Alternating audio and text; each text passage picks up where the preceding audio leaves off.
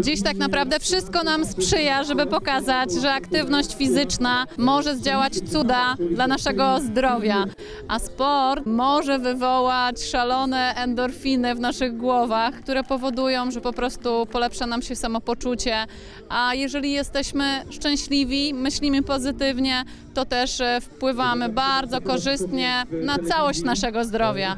Także polecam nawet 15 minut szybszym marszem, to już może zdziałać naprawdę bardzo dużo. Starajmy się połączyć te filary, czyli aktywność fizyczna, profilaktyka plus zdrowe odżywianie. To są te trzy filary, które naprawdę mogą pokazać, polepszyć nam nasze życie. Przede wszystkim rodzic powinien najpierw znaleźć swój ulubiony sport, swoją aktywność fizyczną, żeby być wzorem, takim e, arcymistrzem przede wszystkim dla swojego dziecka, bo jeżeli my będziemy się ruszać jako rodzice, jako dorośli, to naturalne dla naszych dzieci będzie to, żeby w trakcie nudy wyjść i zrobić coś na sportowo. Także myśmy też, apeluję, rodzice, drodzy rodzice, dziadkowie również, bądźmy aktywni nie tylko dla siebie, ale też dla naszych dzieci. Dzięki takiej imprezie, jaka jest tutaj w Polanicy Zdrój, możemy wyrównywać szanse wśród różnych sportów. Dzięki temu możemy rozpromować hokej na trawie. Dzisiaj mieliśmy okazję